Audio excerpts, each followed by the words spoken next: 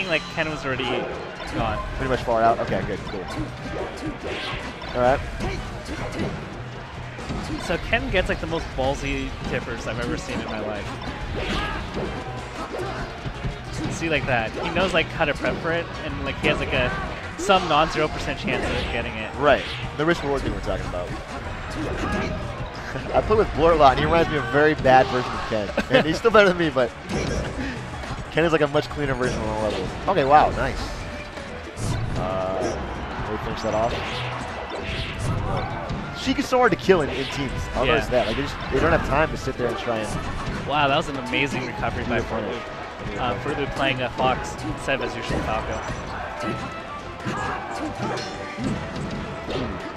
And Ken's just really good at getting hitboxes out where it needs to be. Like it's, it may not be like the most conventional hitbox, but he gets it out in But he will hit space. you. Yeah, he'll put some damage out. That's the best thing. Um, kick it. See if he gets his edge guard on Ken. Does. Cleans it up with easy back air. And Santi doesn't even make any effort to. to help out. Yeah. Oh my god, it's a bloodbath right now in this corner. Good shine by Frootloop to disperse them. To save, yeah, saves uh, KK from getting punished by Ken. Can I say like Frootloops is amazingly smart? Wow, that was Wow, amazing. nice. And he gets a shine too on the left side. I think KK finishes it off. And suddenly we we have the red team opened up pretty hard right now. Yeah, definitely. KK and Frootloop with the pretty strong. Oh, Wow. he just goes for it. Shout outs to the King of Smash. Hits him with a fully charged, uh, not tipper, but S1. When I see Ken charge a forward smash into random side B and then do up B randomly, that like embodies melee in the least degree for me. It's great. um, so this is actually not that. There's no stock difference. There's a percent difference. Now there's a stock. Yeah, yeah, yeah. We'll see if he closes that. Yeah, yeah, okay, got it. KK's edge guarded 10. And I have to successful. give a little bit of grief um, for Santi to not be in position to kind of counter hit when they um, hit Ken off stage. With their edge guarding Ken, Yeah. yeah. I feel like he never Um, to save it. every time there's a power hit, Fumi should be there in position to hit them. It's a pretty much a free hit, and um, it's a little disappointing to not see him in position to capitalize. Yep. Um, if you watch the better teams, they rarely ever give any strong hits. Yep. Wow. I just watched. Oh, okay. Oh my gosh. That's actually crazy. What a reversal. I still think KK can close this out, but we'll see. It's gonna be tough though. He's gonna need one strong One hit. one strong hit. but oh, maybe now not. it's They're looking really- like turns right oh, now. oh my gosh. This is actually super tense. See, like Ken can go in, and if oh wow, if uh, he gets hit, then Fumi will trade, and it's over. Not looking good. Oh, that was an That was super smart, but again, no. All right, he has one more chance. This is his last He can do a pullback. Oh! Yeah, and then, wow, amazing turnaround by uh, Ken and Santiago. Good stuff. Close game, very exciting. I still think it was close enough that uh, Frootloop and KK could bring it back game two. So Yeah, he got he missed DI at the side B. He thought he could crouch cancel, and he did that on the side B. But then he held it too long, so the strong hit of the side B combo um, pushed him back and knocked him off. okay, And I think he was just thinking, well, you could just crouch cancel side B. Yes, you can, but then you have to act on it right away, or else you're gonna get hit. it's melee. It's so hard.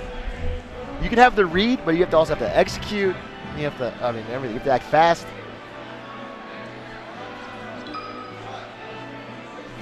But like every, I think everybody gets like jinx stocked by Ken at least like two times in a set. Like where you're like, oh crap, I didn't know that. Let's keep an eye on Ken for the, the Jank stock cam. See if he just knocks. Like why doesn't he up throw on platform or like up tilt and stuff? It's interesting. Ooh, he goes for the B. Yeah, Ken definitely puts in different moves than most other Marths, and uh, I love to see it. Sometimes it works and sometimes it works against him. I guess it works either way. it's putting in work. Uh, He has good back air hitboxes though. That's something that a lot of Marths don't do anymore. this set different than the last one, and there's not many 1v1s. There always seem to be sort of a cluster. Miscommunication there. Okay.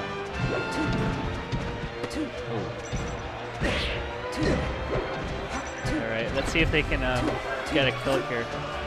Already at two stocks. Regain center stage. Opposed thing that's that. interesting about teams is that you're always you're always trading something.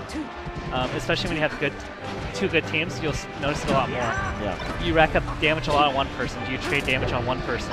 Are you going to go for the edge guard or are you going to rack up damage on this guy? Oh, right, yeah. Makes sense. There's always something you could be doing, especially with other players. Ooh, current leader just dropped off the green team. And the Red Team's kind of building up a lead right now. Yeah. Um, I don't know why. Well, Ken Ken's not one to ever wait in any situation, ever. He just wants to go in. I feel like KK can maybe play less in the middle. I think he gets in the thick of it maybe too much with Sheik. What do you think? He seems to be getting there and getting comboed quite a bit. Oh, And like his edge guards look pretty clean. they are. It's not, uh, I don't know. I think they're having a lot of confusion on who's the aggressor. Right. Oh, this is bad position for Ken.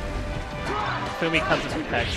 So if you're the you know the partner of a person getting edge guard, you want to build a wall. So they, they, there's no way they can throw a hitbox at your partner. Right. Oh, wow. Ken threatens, he dashes back, and then uh, KK Santiago's right there to. KK kind of tunnel visions there and gets caught.